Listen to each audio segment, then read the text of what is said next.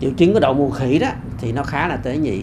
À, cái chính của đậu mùa khỉ là nó sẽ nổi như cái bóng nước gọi là cái bóng đậu à, nó cũng khá là giống với lại à, cái thủy đậu. À, những bóng nước này nổi trên da à, nó hơi à, gồ lên rồi nó có lõm ở giữa.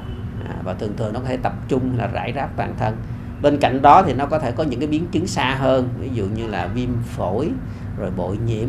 À, tuy nhiên cho tới hiện nay thì cái tỷ lệ nó thấp à, câu hỏi đặt ra là mình à, có thể phân biệt được giữa một cái à, đậu mùa khỉ với lại những cái thủy đậu thông thường hay không? Thì hiện nay trên hướng dẫn thì nó có thể phân biệt được. Thì thông thường những cái người mà nổi đậu mùa khỉ á, thì họ có những cái chứng toàn thân khá là nặng nề à, sốt cao nhức đầu và đặc biệt cái triệu chứng của nó là nổi hạch à, nổi hạch à, trên cơ thể. Trong khi những cái cái tổn thương mà nổi bóng nước khác thì nó không có nổi hạch. Và đặc biệt cái đậu mùa khỉ đó thì cái bóng nước này nó rất là dễ hóa mũ à, trong khi những cái bóng nước khác à, cho siêu vi thủy đậu hay là những siêu vi herpes đó, thì khả năng hóa mũ rất là thấp.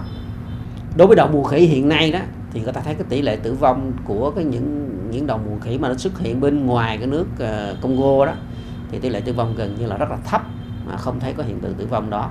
À, và thường thường là tự ổn định tự khỏi trong vòng 5 tới 7 ngày đó tuy nhiên trong thế trong y văn thì nó cũng mô tả một số trường hợp có thể biến chứng làm viêm phổi là siêu hấp làm tử vong. Tuy nhiên cho tới hiện nay á, thì nó chỉ xuất hiện ở những cái vùng mà dịch uh, lưu hành uh, từ cái con uh, động vật cầm nhắm mà thôi. Chứ còn ngoài cái vùng đó thì khả năng tử vong nó rất là thấp.